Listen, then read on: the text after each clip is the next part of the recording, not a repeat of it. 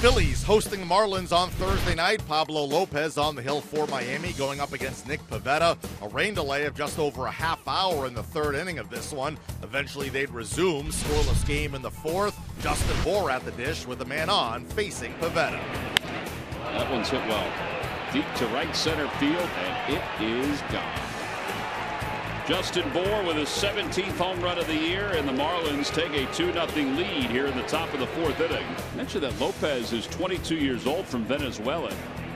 Strike three called on the inside corner. Swing and a miss. Alfaro is gone on strikes. We go to the top of the sixth inning. It'll be Dietrich to lead it off for the Marlins. Fastball, strike three called. He got him looking. Strike three called. He got him looking. A fastball this time.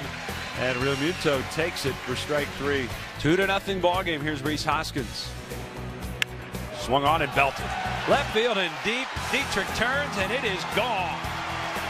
And Rhys Hoskins gets the Phillies on the board. His 22nd home run of this season. And boy, did that get out quick. Oh, man. Cuts the lead in half. It's now 2 to 1 bases are loaded. Nick does not have a career walk-off.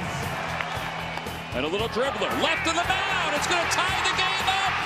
They're able to get Williams at first, but the ball game is tied. We're even at two here in the bottom of the ninth inning. And now Maikel Franco.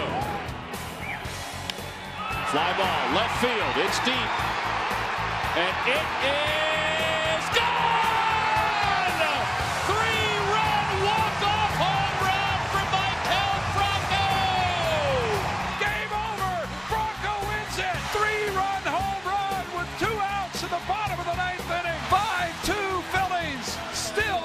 place in the National League East. Maikel Franco, his first career walk-off homer as the Phillies defeat the Marlins 5-2. Rhys Hoskins and Carlos Santana each with a pair of hits. The Phillies bullpen goes three scoreless innings as Tommy Hunter gets the win. Nick Pivetta, no decision, allowing two runs in six frames. The Marlins have dropped three straight.